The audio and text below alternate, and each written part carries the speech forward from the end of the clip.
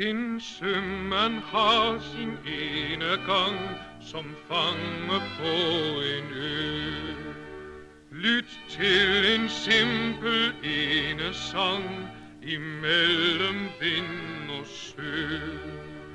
Det bruser fra den våde vej i nat og stjerneskær. Tanke går til dig, til dig, du er mig evig dag. Mig vinker mangen fremmed kyst og mangen munter havn. Et anker griber i mit bryst, det vendeløse savn. Ti er himlen altid blå, ja vist, balsamisk vejr. Og paradis med palmer på, når ikke du er nær.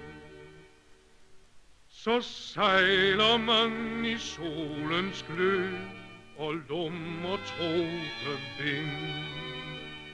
Mens kuldens rose blomstrer sø, min pige på din kind. Og kokospalmen slipper frugt, som slår en mand ihjel. Fordømt den hele hule flugt, min svale ven, lev vel. Alle havets vandringsmand, urolig er hans færd.